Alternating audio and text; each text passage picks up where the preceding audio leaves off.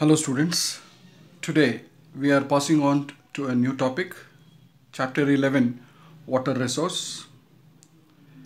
This topic is allotted 10 marks in board examination. Before we start discussing, let's see what is there in the syllabus. Sources of water, surface water and underground water. Need for conservation and conservation practices like rainwater harvesting and its importance. Irrigation, importance and methods. These are what we are going to learn in this topic. Water is a resource. Why? Because as you all know that India is an agricultural country where soil and water is of great importance. India has various types of fertile soil, but to support agriculture, water is essential. And as you all know that the rainfall in India is unevenly distributed.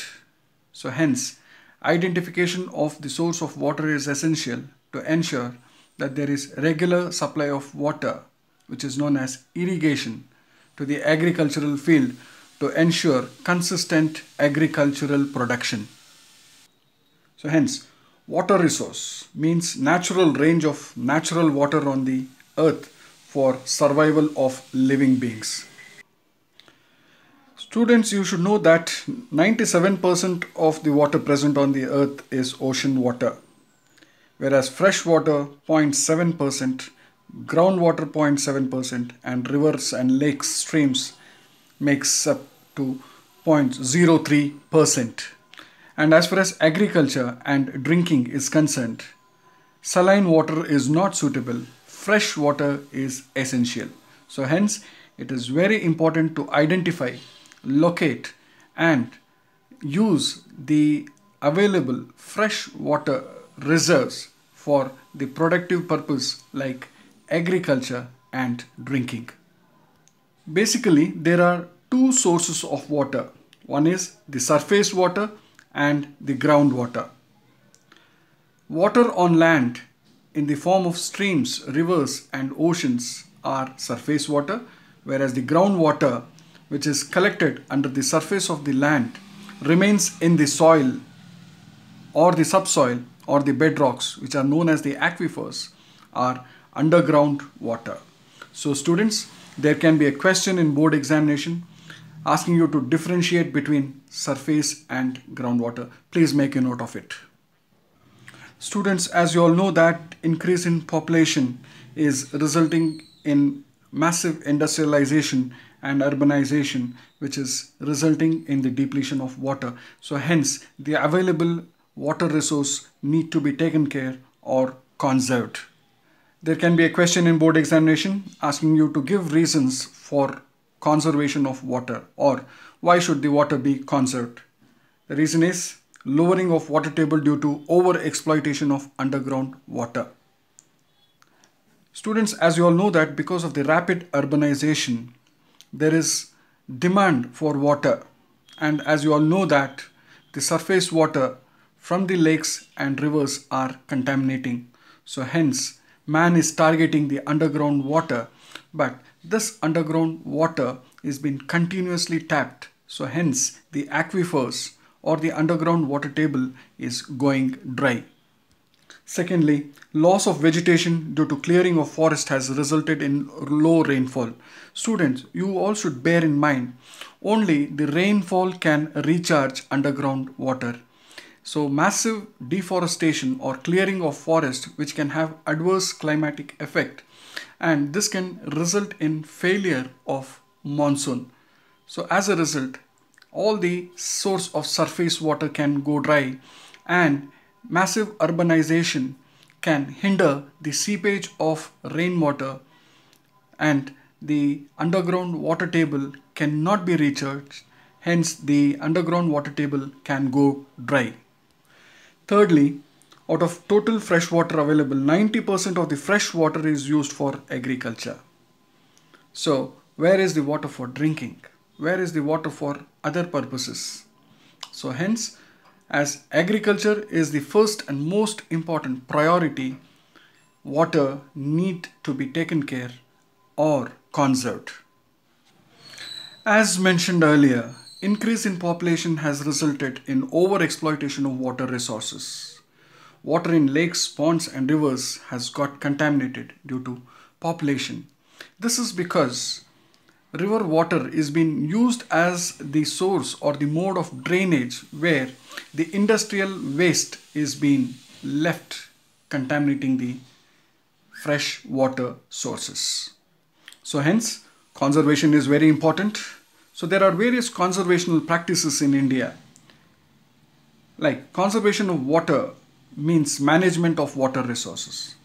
Conservation of water is must, you know, to ensure supply of water for drinking, supply of water for irrigation and supply of water for industrialization. So these are the three main requirements for which the water need to be conserved.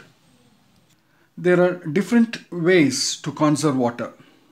Number one, rainwater harvesting, watershed management, recycling of water, protecting water from pollution. So these are the ways and methods to conserve water. And among this, rainwater harvesting is being given more importance and priority nowadays. Rainwater harvesting is nothing but collecting and storing rainwater in rainwater harvesting devices. And the important aims of rainwater harvesting is harvesting surface and groundwater to prevent loss of water through seepage and evaporation, where the water accumulated is systematically and fruitfully used. So the systematic use of limited water resources is the aim of rainwater harvesting. And the fourth aim of rainwater harvesting is to make an optimum use of rainwater. See, rainwater harvesting mechanism has different names in different places. For example, Western Himalayas, the rainwater harvesting device is known as Kul or Khatri, whereas Gangetic plains are known as the Bolis or Digis. Central India called as Johad Deccan Plateau, it is known as the Kere or Bandharas. Western Ghats, they are called as Surangam. Eastern Ghats, known as Korumbu. Ladakh, Zing. So these are all the traditional names of rainwater or rainwater storing mechanism in India. There can be a question in board examination like what is the need for rainwater harvesting in India? So rainwater need to be harvested because rainfall in India occurs in short spells of high intensity. That means the duration of the rain is very less, but maybe the intensity of the rain may be more, which is not sufficient to ensure in uh, long-term supply of water. And at the same time, rainfall is also not evenly distributed greater surface runoff due to lack of storage. And as you all know that lack of storage where the rainwater on a large scale is just allowed to flow where rainwater is not stored and this is causing surface runoff, soil erosion, soil depletion. Productive soil is being washed away and agriculture ultimately suffers. Watershed management. It refers to management and conservation of surface and groundwater. Keep in mind, watershed management refers to management and conservation of surface and groundwater.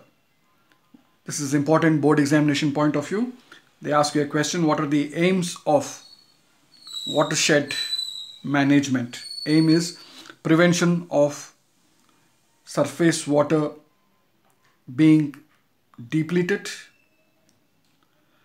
storage and recharge of underground water so storing rainwater to recharge underground water is are the two important aims of watershed management and how is watershed management being done construction or digging of percolation pits recharge wells bore wells and dug wells so water can be allowed to store in these devices to ensure presence of water at the time of scarcity.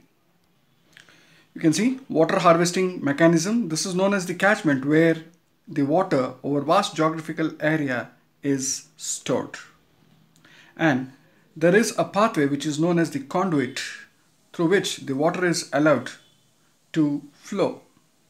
And the water is again redirected into soak pits or the recharge pits where the bottom of these tanks are unplastered. The rainwater is allowed to accumulate and this again seeps into the underground water table ensuring the recharge of underground water.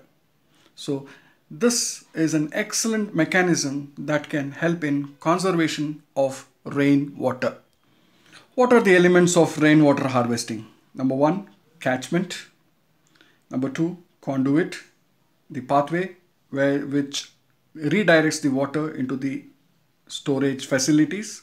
This is the storage facilities which is made up of reinforced concrete or a natural depression into which the water collects. Then recharge facilities which is known as the storage tanks that allows the water to seep into an aquifer. So installation of reinforced cement concrete in the basement of building or installation of PVC tanks above the ground level to store water or the rainwater.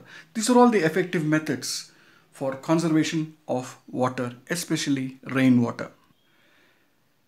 The remaining will be discussed in the next upload of the videos. Thank you students.